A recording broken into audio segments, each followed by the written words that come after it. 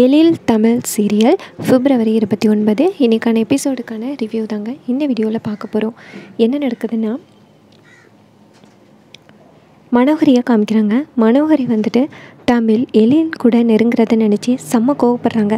உடனே மனோகரி வீட்டில் உள்ள பொருள் எல்லாத்தையுமே போட்டு நொறுக்கு நொறுக்குன்னு நொறுக்குறாங்க. கடைசியாக ஒரு மக்க எடுத்து தலையில் அடிச்சுக்கிட்டு டக்குன்னு உட்காடுறாங்க உட்காந்துட்டு நேராக போலீஸ்க்கு கால் பண்ணி விஷயத்த சொல்கிறாங்க இது கேட்ட போலீஸ் செம்ம ஷாக் ஆகி நேராக மனோகரியோட வீட்டுக்கு வராங்க. வீட்டுக்கு வந்துட்டு என்னாச்சு மேடம்? அப்படின்னு சொல்ல அப்போ மனோகரி சொல்கிறாங்க என்னைய பிஸ்னஸ் எனிமிஸ் வந்து அட்டாக் பண்ணிட்டாங்க அப்படின்னு.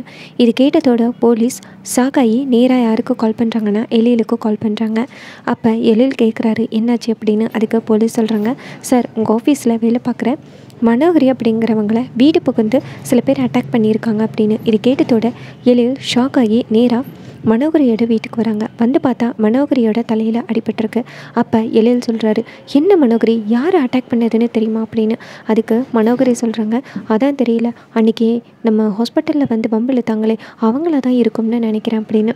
அப்போ எழில் சொல்கிறாரு அவங்க யாருன்னு சீக்கிரம் கண்டுபிடிங்க போலீஸ் அப்படின்னு. அப்போ போலீஸ் சொல்கிறாங்க கண்டிப்பாக நாங்கள் கண்டுபிடிக்கிறோம் சார் அப்படின்னு. அப்போ எழில் சொல்கிறாரு இங்கே பாரு உனக்கு ரெண்டு மூணு போலீஸை இங்கே செக்யூரிட்டியாக போட சொல்கிறேன் அப்படின்னு. அதுக்கு மனோகரி சொல்கிறாங்க ஒரு பத்து பதினஞ்சு நாள் போலீஸ் இருப்பாங்க. அதுக்கப்புறம் அவங்க போனதோட மறுபடியும் அட்டாக் பண்ண வருவாங்களே அப்போ என்ன பண்ணுறது அப்படின்னு. நான் தனியாக இருந்துக்கிறேன் அப்படின்னு. அப்போ எழில் சொல்கிறாரு இனிமேல் நீ தனியாக இருக்க வேணாம். நான் உன்னை வீட்டுக்கு கூட்டிகிட்டு போகிறேன் அப்படின்னு சொல்லிட்டு நீ வீட்டுக்கு வா அப்படின்னு சொல்லி மனோகரியோட திங்ஸ் எல்லாம் எடுத்துக்கிட்டு எழில் வீட்டுக்கு கூட்டிகிட்டு வராரு. இன்னொரு பக்கம் நம்ம தமிழ் சாப்பிட்றதுக்கு உட்காராங்க. அப்போ எழிலோட அம்மா தமிழுக்கு சாப்பாடு பரிமாறுறாங்க. தமிழ் சொல்கிறாங்க அதெல்லாம் வேணாம் பரவாயில்ல அப்படின்னு. அப்போ அவங்க சொல்கிறாங்க சரி சாப்பிடு அப்படின்னு.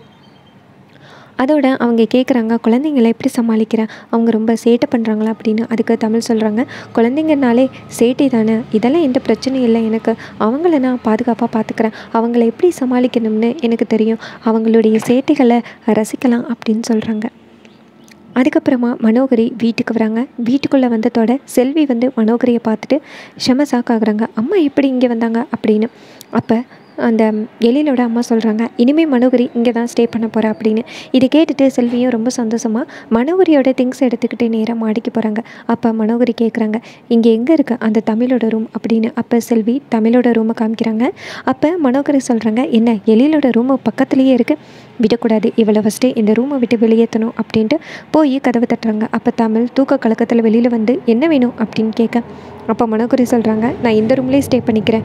ரூமை விட்டு வெளியில் வா அப்படின்னு தமிழும் சரி அப்படின்னு சொல்லிட்டு திங்ஸ் எல்லாம் எடுத்துக்கிட்டு வெளியில் வராங்க. அதே நேரத்தில் எழிலோட அம்மா வந்துட்டு என்னாச்சு மனோகரி? அப்படின்னு கேட்க அப்போ மனோகரி சொல்கிறாங்க நான் இந்த ரூம்லேயே ஸ்டே பண்ணிக்கிறேன். இதுதான் எழிலோட ரூமுக்கு பக்கத்தில் இருக்குது ஏன்னா ஏதாவது பிரச்சனைன்னா நான் எலியில் கூப்பிட்டுக்கலாம்ல அப்படின்னு அதுக்கு அவங்க சொல்கிறாங்க இங்கே பாரு நீ கீழே உள்ள ரூம்லேயே ஸ்டே பண்ணிக்க. ஏன்னா தமிழ் வந்து பசங்க பக்கத்தில் இருந்தால் தான் கரெக்டாக இருக்கும். பசங்களுக்கு என்ன ஹெல்ப் வேணுமோ அவள் ஈஸியாக செஞ்சு கொடுப்பா.